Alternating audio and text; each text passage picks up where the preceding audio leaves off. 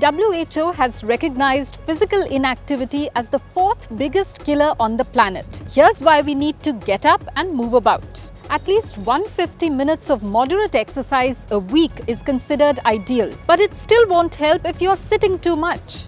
Well, this is how sitting kills. Calorie burning drops to 1 per minute. Enzymes known to help break down fat drop by 90%. Electrical activity in the leg muscles shuts off. It leads to obesity and metabolic syndrome. Leads to some types of cancers too. And worse, inactivity is the cause of a quarter of breast and colon cancers, 27% of diabetes cases, 30% of heart disease cases. But you can fight this killer and this is how you can fight it. Stand up once every hour if not every half hour. Do 10 minute workouts behind your desk. Conduct walking meetings. Use a treadmill desk.